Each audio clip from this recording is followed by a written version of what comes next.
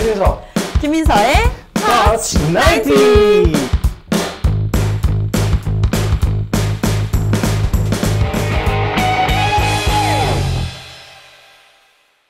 안녕하세요. 저는 한국경제신문의 골프 담당 기자 최진석입니다. 네, 저는 프로골퍼 김민서입니다. 예.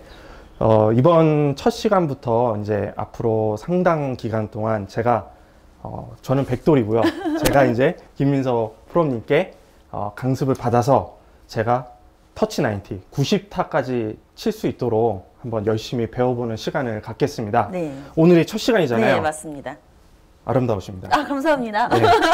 그러면 일단 그 골프의 가장 시작은 이제 자세잖아요. 그렇죠. 어드레스. 네. 어, 폼을 어떻게 하느냐. 그게 중요한데 그거에 대해서 제가 하나씩 여쭤보고 또 가르침을 네. 받겠습니다. 그렇죠.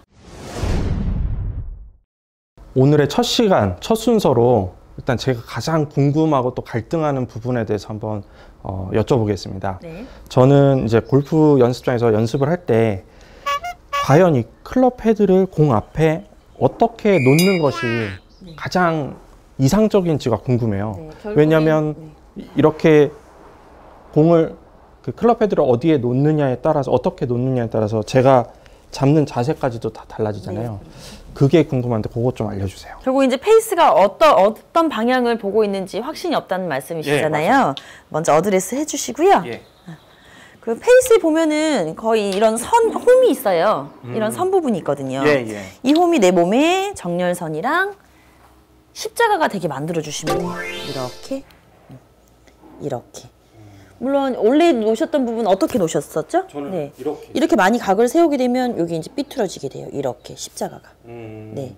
반대로 어떤 분들 여는 사람도 있겠죠. 이렇게 여시는 분, 이것도 일자라고 생각하시는 분들도 계세요. 예, 예. 그러면 이렇게 또 삐뚤어지겠죠.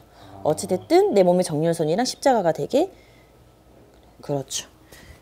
이렇게 바꿔주시면 됩니다. 그럼 일단 십자가를 기억하면 되겠네요. 네, 십자가 기억하시고요. 예. 한번 더 어드레스 해보시고 여기서 중요한 건 아무리 십자가를 잘 만들어도 손의 위치가 배꼽 중앙에서 약간 왼쪽.